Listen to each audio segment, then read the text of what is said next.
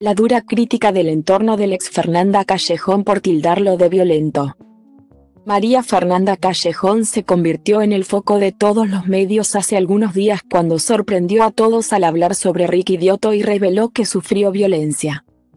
Ahora bien, quien rompió el silencio hace algunas horas fue nada más ni nada menos que Elba Marcovecchio. La esposa de Jorge Lanata es la abogada de Ricky y en el programa a la tarde decidió revelar qué opina. Quien conoce a Ricky es imposible pensar e imaginarlo como alguien violento. Hay una frase que llamó mucho la atención que decía María Fernanda. Que decía vos no sos nadie sin mí. Fernanda fue antes y es Fernanda antes de Ricky. Fue durante el matrimonio, antes y posterior una gran actriz y vedette. Ella no fue gracias a Ricky. No se formó con él ni gracias a él, continuó la reconocida abogada.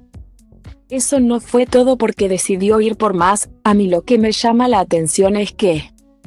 Ninguno, pero cuando te digo ninguno, es que, ninguno de todos los expedientes y en ninguno fue dicho absolutamente nada de esto.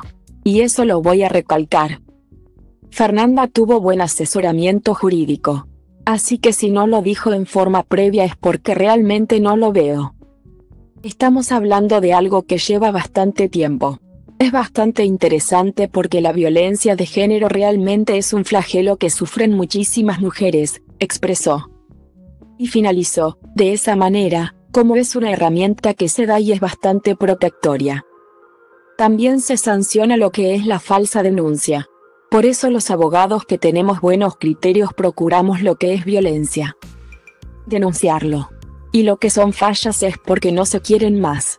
Pero los dichos de Fernanda deslegitiman a las víctimas.